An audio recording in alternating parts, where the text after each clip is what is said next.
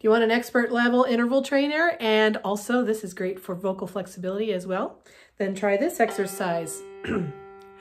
One, two, one, three, one, four, one, five, one, six, one, seven, one, eight, eight, seven, eight, six, eight, five, eight, four, eight, three, two, eight, one. Now I put a little bit of stop of sound in between mine because that is my current level of skill. When you become more skilled than that, uh, you'll be able to do it more flexibly without those little breaks.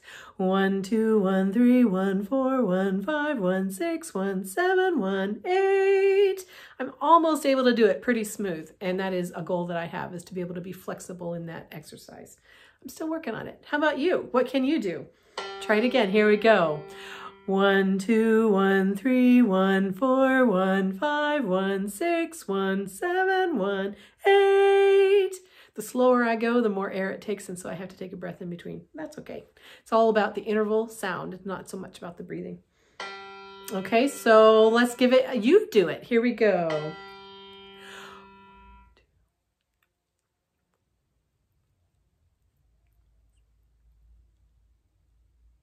How did you do? Did you make it up to eight? All right, let's do it in a different key. Let's do it in the key of A. One, two, one, three, one, four, one, five, one, six, one, seven, one, eight. All right, and now let's try it in the key of F. One, two, one, three, one, four, one, five, one, six, one, seven, one, eight. You heard me slow down because I wasn't sure that I was singing the notes accurately if I went too fast. So I was self-assessing that I needed to slow down so that I could get them accurately. I'm gonna do that one more time and see if I can do it more smoothly in tempo.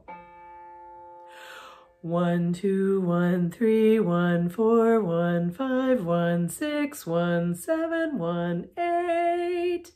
I think I did that one a little bit better. How about you? Can you try it in the key of F again and keep it as smoothly, uh, smooth as possible? Here we go.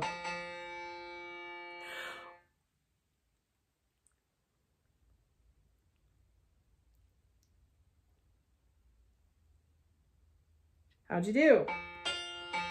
Were you smooth? It's a goal of mine to be smooth, that's for sure.